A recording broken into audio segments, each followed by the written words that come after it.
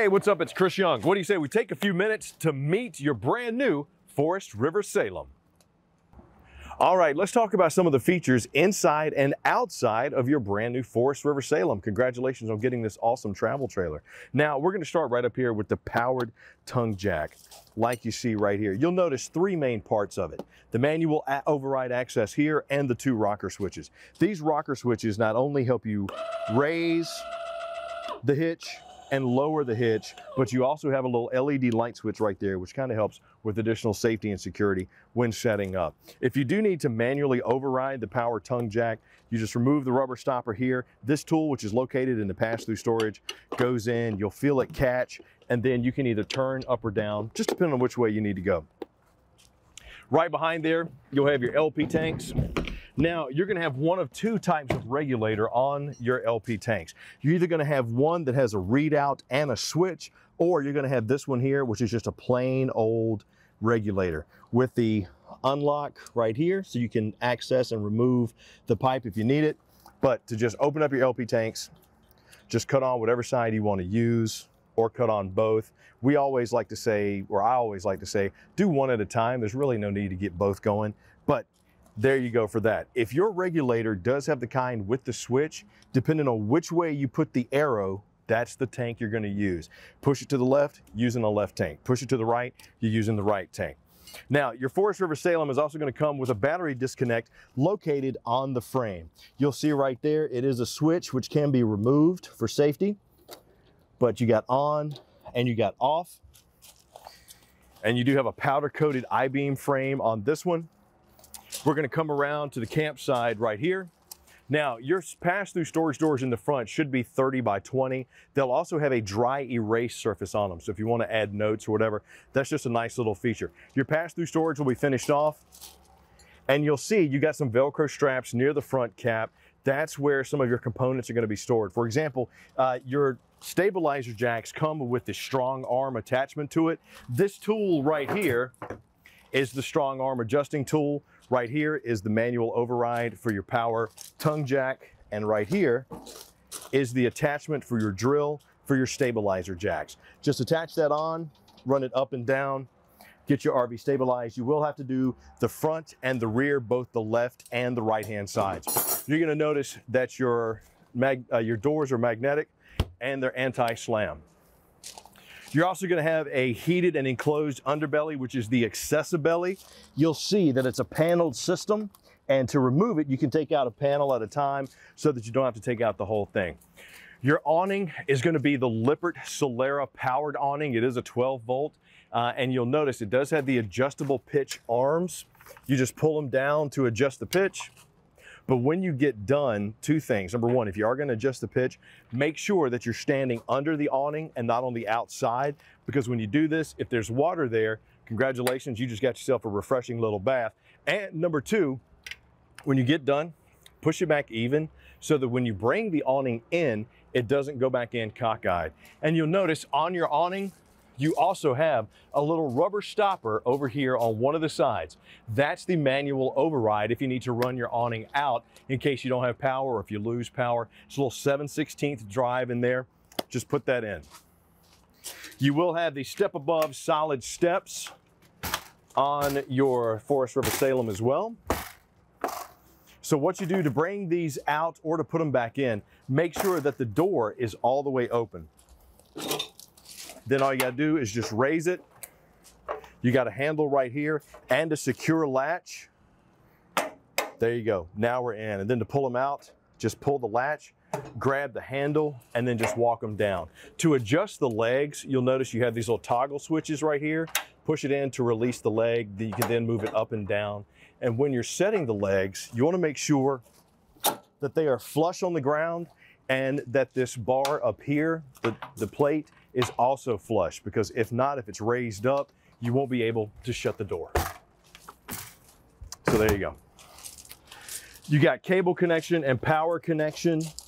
This will be a GFCI protected outlet right there. This is your fresh tank fill.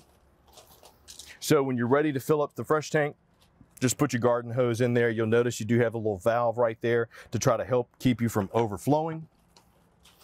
Uh, you'll have nitro filled tires, Dexter Easy Lube axles. Always check with your professional uh, at Camping World in Gander about, you know, hey, when do I grease these Dexter Easy Lube axles? The, the, the rule of thumb is about every thousand miles, give it one or two pumps of grease. That's it. But always ask your technician, hey, what's right for me? Uh, if your Forest River Salem does come with an external kitchen, you should have the Suburban griddle on here. And this actually just connects up. There's a little regulator on the back here that connects up to your LP Quick Connect, which is located underneath the coach right there. If yours does have the lever, the regulator on top, you'll notice you got open and close for your LP Quick Connects right there. Uh, if you don't have any propane, coming through there, check to make sure that your propane tanks are open, number one. Uh, if you just opened them, it does take time for the propane to make its way through the line, so just give it a little bit of time. You'll also have the Everchill external fridge. This is a great little fridge. There's your little uh, connector for your LP Quick Connect right here for your griddle. Uh, you do have a little uh, section here for freezing ice as well as a little mini ice tray. Just a great little external fridge. Good seals, on all of your storage doors and your external kitchen doors. Uh, you do have a little sprayer port right there. So if you need like a little outside shower, you can't control the temperature or the pressure, but it's great for just washing off, you know, the chairs or, you know, washing off the pets. That does come in handy. Your Forest River Salem will, is also going to come with a suburban uh, furnace on it. You'll notice that this is on the campsite and we are under the awning. So chances are people might want to set the chairs outside. Just be careful if it is running the heat on the inside, this does kick out hot air. Hot air and fabric don't go well together. So just try not to block these.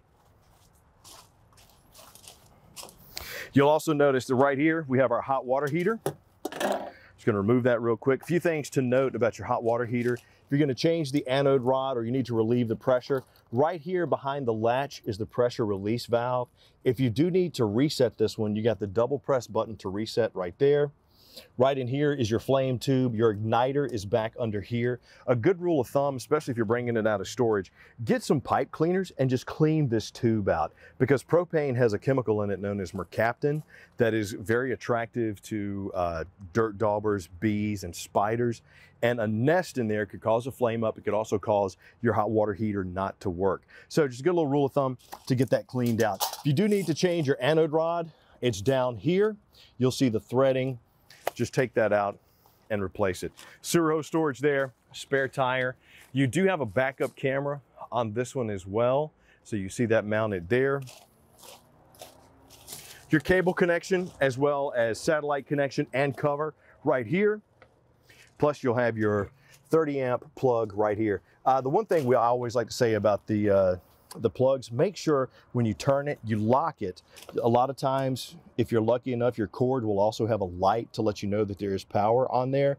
But screw it in. If you're if you're locked in, you know you're locked in, you're screwed in, you're not getting power, check the breakers at the junction box where you plugged into the campsite just to make sure that you're getting power. Your Forest River Salem also has the Schwintek slide system. Uh, this is a, you'll see right here, it's a rack and pinion through frame slide system right there, sturdy. You also have triple uh, seals on this one too. Um, and you know it's got that it's got that good ply system in here so you got good insulation all the way around but one of the things with your slide you'll notice good contact points here to help keep the moisture out about every six months lubricate these touch points, lubricate these seals so that they don't dry rot and cause them to crack and then you end up getting some slide problems. Main terminations are located right there indicated by the color of the handles, black for your black tank, gray for your gray tank. If you're hooked up at the campsite, you don't really need to keep them open all the time. As a matter of fact, I like to tell people, don't, don't keep your black tank open because what can happen is pyramiding can happen with that solid waste that gets inside the black tank. It makes it extremely difficult not only to flush, but the water flow isn't consistent as well. And if you're gonna clean these out, dump the black tank first and then dump the gray tank. That way the water from those gray tanks can kind of clean everything out as it goes. You also will have your city water connection right here. And your black tank flush right here. You'll notice that the caps are two different styles. One is smooth and one is rough. That's just kind of to help you indicate the differences between the two and use a water hose to this, not your potable drinking hose, please. Use just a regular garden hose when you are ready to clean out your black tank. Hook it up there and make sure the black tank is open before you apply any pressure into that flush. If not, that's gonna be a bad day for everybody all the way around. Other side, your pass-through storage, once again, with magnetic doors. And what do you say? Now that we've seen some of the features on the outside of your Forest River Salem, we take a little walk and check out what's going on on the inside. So here we are on the inside of your all new Forest River Salem travel trailer. Now, one of the first things you're going to want to look for is your command panel. You'll see this one right here, the KIB command panel, positron panels, whatever it may be. Lots of information here, lots of options all in one small space. You do have a water pump on this unit, which if you're dry docking, that's the only time you really want to use it. If you're hooked up to city water, you don't really need the pump. You do have a water heater on there. You'll notice that it's trying to light the water heater now, even though we don't have any propane. Uh, once it does light, that light will go off. You got your light controls to the right of those, and then your info commands right here for your battery to see how much power you have. Check out your fresh tanks, your black tanks, your gray tanks. Um, with these buttons right here, uh, if you're running on coach battery, if you notice your slide isn't going out and you check the battery, if you're below two thirds, that's because you don't have enough power on the battery to run the slides out. Um, you really need over 11 volts I'll, I even say 12 uh, to get the slides to go out properly. Same thing with your tanks. If you flushed your tanks and you notice that your gray tank or your black tank is not showing empty, but you're pretty sure that you flushed them and nothing else is coming out of the terminations, wait for a couple of minutes because there are two sensors on your tanks. And sometimes the water dripping down the side of those tanks can cause a continuity stream in between the two sensors to make it read like there's still fluid in there, but there's not. Give it a minute for that to drip down, 15 minutes or so, go back and check it then you should show empty. If not, bring your unit in and let our service folks take care of it for you. You got your rocker switches for your slides right here, in and out, both for the slide out. The one that's not labeled is usually your power awning. So if you, you know, push it and you hear something outside, that's your awning. Over to the side of your control panel will be a dimmer switch. Now these will be located either next to the control panel or sometimes in the slide. And what this is for, Bob, I'll show you. Go ahead and pan over to the main part of the coach here. The dimmer switch just allows you to cut off and on the main house lights. Just a nice little added feature. We do have the Airxcel controls for our HVAC system right here that controls both our Suburban heater and our Coleman Mach uh, 13,500 BTU AC. Now, your option, they come with a 13.5 BTU AC, but you can option for a 15K, especially if your coach is uh, 50 amp service. So if you need that, just talk to your specialist, make sure they point you in the right direction of having the right one. In the main living area, you'll notice a few nice upgraded features and amenities like number one, the fireplace. This is an electric fireplace uh, with multiple flame settings, multiple light settings. Uh, it even has a timer. It's an electric blower, so you do have to be hooked up to uh, shore power to get it to work. Uh, if you do not feel any heat coming out, but you know you're plugged into power, you've checked the circuit breakers, you know everything's okay, the post is okay, bring this in and let our folks at uh, Camping World take care of it for you. Right above that will be your Furrion soundbar. Now you're either going to have the Furrion or the Boss system. Uh, so if you have the Furrion soundbar, very easy to operate. There's your power button and the main controls. It does have an LED readout in the middle of the bar so you can see if you're going from radio, if you need to change the mode to Bluetooth to HDMI, uh, as well as your dual zone controls for both internal and external sound. Over here in our Schwintek slide, uh, one of the things to point out first before we get into the Versa system is your pull down shades will also have a white back on it. That's going to help with the heat because it's going to reflect, whereas most, most of the shades have a black backer, absorb the heat. Now, your Versa Lounge is awesome because it's versatile. You notice it's light, it's plush, it's comfortable with many movable parts. You got the little jackknife sofa right here. Just always be careful no matter what component that you're moving. Try not to hurt yourself. If you're not comfortable, have somebody help you. But the jackknife sofa, easy. You lift up, you fold down. Now you got yourself a full-size bed. Lift it up again, grab the back, push it back in place. You're also going to come with the stow and go storage compartment, which is a handled access point right here with your tubs that are stackable, heavy duty, keep things organized. Love it.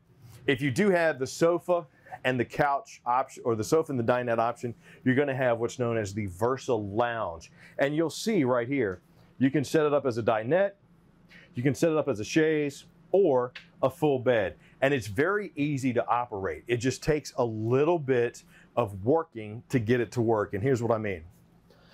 I'm gonna remove this pad, which can be Velcroed into the wall. This component right here is the main component of changing your Versa Lounger. So just be careful once again.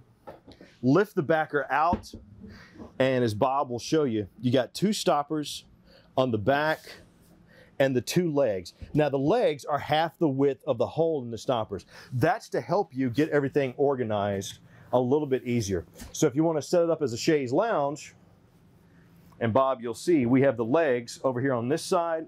I'll let you get in there so you can see that before I put them in. And then all you do is you turn this around. Just once again, be very careful not to hurt yourself or your RV. Lift that up and slide them in place. The only thing is you got to make sure that you don't put one leg in before you put the other one in because then you won't be able to get both of them in. So just try to keep it level. Try to keep both legs going at the same time. It'll be a whole lot easier for you. But there's your chaise lounge or when you kick out the jackknife sofa, look at how big of a bed you have now. So pretty nice. Your dinette still does reduce down into a bed so you can have two separate sleeping spaces right here with versatile options. Now, your Forest River Salem is also going to come with an Everchill 12 volt fridge. Uh, this is a frost-free refrigerator. It does run off a 12 volt, which means it can run off the house batteries. But uh, since you are solar prepped on this one uh, with a 10 amp quick connect on the camp side, um, get the solar panels. They come in so handy. They'll trickle charge the battery because these 12 volt fridges will pull a lot of power off the 12 volt battery. They will cool things down a lot faster than those gas electric fridges because um, the gas electric fridge is really just meant to keep things cold, not make them cold. So this does work better. It's 10.7 cubic feet. You do have your freezer controls here for cold and colder. And down below are your controls to cut this off. You, you can, you know, just move this however you want it. But to, to cut it on and off, you just hold it for 10 seconds and that'll cut this unit off. And if you need to store it for while you're in transit, you'll notice the safety little latch right there. There you go. Your backsplash, which is a hex decorative backsplash, is cement backed. So that's a very nice feature to keep it extra sturdy and keep it in place. You're either going to have the Greystone or the Furrion appliances inside your kitchen, and you can have the regular microwave or the 30 inch Greystone convection microwave as well. You'll have the hood right here with the fan, your light controls and your fan controls there. Your cooktop, whether it's Furrion or Greystone, will work the same way. You'll have the glass cover for your grill style grates. Your front burner will be a high output burner. And if you have gas uh, in your LP tanks and you know it's there to work your oven and to work your cooktop, push this which for whichever burner you want. I'm gonna do the front one right here. And you just turn it. You notice you got low, you got high, and you should hear gas going, but this is your igniter right here. The, the great thing about these is they only turn one way, and you really only want them to turn one way, but this will ignite this little switch right here. You should see some popping as I turn it. And that'll give you flame. If you uh, know that you have gas and you're doing this and it's still not lighting, you can lift this top panel up. There's a little connector on either one of the sides uh, that if that comes disconnected, just connect it back. That's what causes the igniter to light. Um, if you say, hey, you know, we got gas, that's working, we're still not getting any fire, uh, number one, make sure you actually have propane. Your propane tanks are full, that it's proper, that it's come through the line. Uh, and if it's still not working, bring it in. Let our service folks take a look at it. For your oven, same thing, except for one little caveat. The oven actually has a flame symbol to know this is what you cut it on to light it. You push and turn till you get to the light, and then you just turn the igniter. And that is how you operate your Furrion and Greystone cooktop and oven. Now you will have an undermounted sink with a drying rack. This is a great option for making sure you don't have wet dishes all over your countertop. You can roll it up and get it out of the way. Easy to clean, 50-50 with the high-rise sprayer there. You'll notice you'll have the spray option as well as the stream option. And over here are your controls. Open opens up the water flow and then forward is cold, back is hot. Uh, you know, just a nice little residential style faucet. If your Forest River Salem has the recliners, they're just recliners. Sit in them and enjoy. Walking into your bathroom, you are going to have a high-rise plastic Dometic foot flush toilet inside your Forest River Salem. And one little tip about these, uh, if you push the pedal down, but you notice that, you know, fluid is still uh, leaking through, you can actually take some Vaseline and a glove and get around the bottom of that rubber seal. That'll help keep the stopper in place for you. Your shower will be a single surround herringbone pattern with the angled style Aquaflex door like we have here.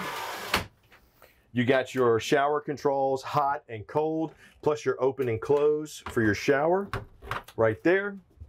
Your vanity sink will have hot and cold options on it as well. With your medicine cabinet, let's see here, step in here, Bobby. With your medicine cabinet, there is one thing to note about your medicine cabinet. There is a suspension string on the side over here that latches to this little hook on your medicine cabinet. That's how you keep it secure while you're in transit. Um, and before we go into the master bedroom, let's find the breaker panel real quick. Fuse box, breaker panel, whatever you want to call it. This is an important part of your RV to note because all of these fuses right here will have a fault light. So if you the AC is not running, you know you're hooked up to power, you look down there, oh, or microwave or fridge. If there's a red light in the middle of that fuse, that fuse is bad. You can replace it. Just a nice little indicator to let you know what's going on. And you'll notice that your fuse box also has a panel that you can see through, just in case you can tell right away that your line is there. You also have uh, pre-wired for the King Wi-Fi extender and cell phone booster. Uh, that's just a dish that you can put on top to really boost your signals while you're out in transit. Your master is going to have storage that is strut supported, which is also accessible from the outside. This is a great feature so that you don't have to go outside to get bags or whatever you have put inside your storage. You're also gonna notice you have the dual USB charging ports on both sides of your bed, plus a 110 outlet inside on both sides. And then you have the roller shades for your windows and your TV backer. Check with your specialist about the weight and size for the TV backer for your bedroom. You know, if, if yours has it there. Most of the time, the rule of thumb is this TV backer will hold a 32 inch TV. But always check with your specialist to make sure that that's right. Cable connection and 110 right there. So that's it for some of the features that you're gonna find on your brand new Forest River Salem travel trailer. Hopefully this helped you. We'll make you have a better camping experience because at Camping World in Gander, that's what we want. We want to make sure that you have the best camping experience possible with your brand new RV.